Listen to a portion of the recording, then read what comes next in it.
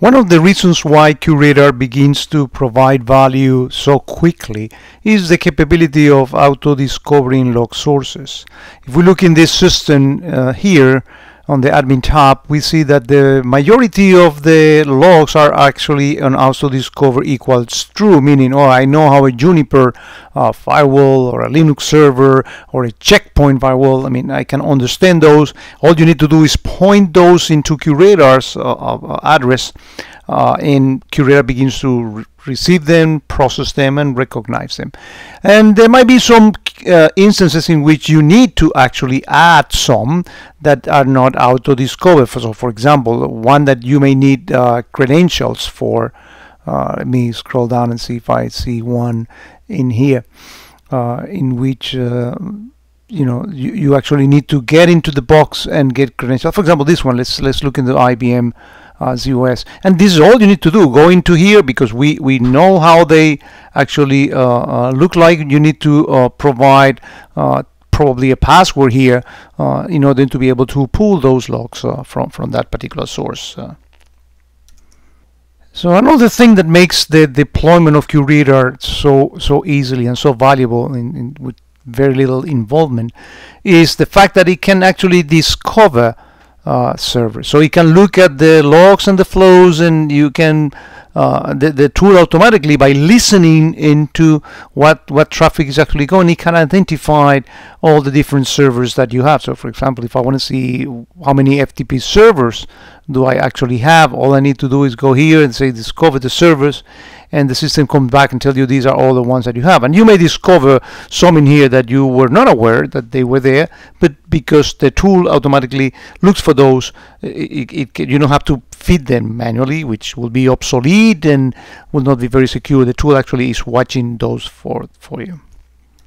Also the fact that QRadar can detect things like the type of protocol being used, as we see here, the type of application, whether it's, you know, uh, uh, peer-to-peer -peer, uh, type of traffic. Uh, uh, the, the, fact that we understand the source and destination port as well as the source and destination by the fact that we look and when, when we look in here those that have the C is that we look at the content and we can actually inspect the first 64 byte of every packet that is in there. We, we bring all that information in and that is what allows us to get the the actual tool to work with existing rules. And let me show here some of the rules that we have in here and all these rules begin to actually being processed uh, and begin to detect things for you without you having to know all the details. So here's just the first page alphabetically ordered by you know looking for anomalies. You don't need to know what type of these anomalies are. The tool has all that intelligence built in and begins to uh, uh, look look uh, for you. And for example, in here, if we look at the groups of rules that we have, look at all this richness. If we want to understand, you know, how malware operates, and we keep updating these rules with with with the product. So all these things, the the the tool finds for you into those very nice uh, offenses. So you basically rack the, the, the QRadar physical or virtual appliance is NetB and let, lets it, uh, you know, you define the topology of your network, basically what's your DMZ, so it knows what's in, what's out, uh, what's internal, what's external, and these, uh, these uh, rules begin to act uh, for you and generate offenses. And these offenses are a compilation of combination of logs and flows that really tells you interesting things that you should look for. So let's look at some offenses in here. Uh, for example, this one in particular, sensitive data in transit. This particular uh, uh, offense fires on just uh, one event one flow. Basically, this is telling, well, there's somebody sending data into Facebook and there's some sensitive data actually going in there. What is that data? Well, that, that's part of the flows, the QFlow, the fact that we inspect those for 64 bytes of every packet.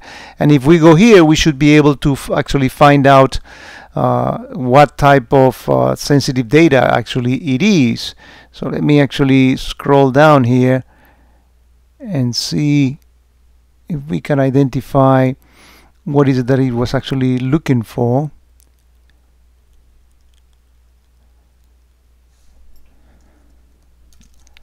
it is actually right there if we see there's a credit card number that that you know matches the regex that we have for looking for credit card number uh, so it is actually found in there. So all that richness comes out of the box and begins to work ready for you. Let's look at some uh, other offenses.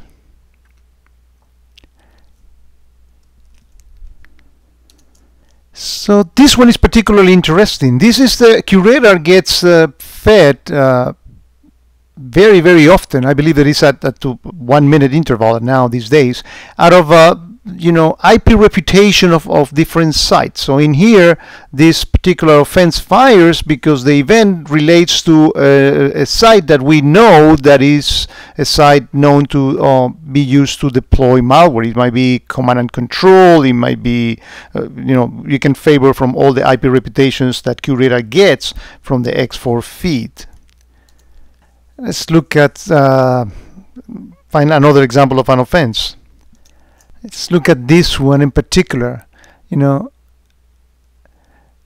look at this. All this action this is a combination of 941 events and more than 3000 flows all combined that tells you the picture of everything that happened. You have potential peer-to-peer -peer traffic uh, you have scanning you have uh, you know attacks being detected exploit being detected uh, you know chat probably this is a botnet type of command. So it brings all that into a single thing which is an offense which is something that you need to investigate investigate right away and begin to discover things that otherwise would have been uncovered in your enterprise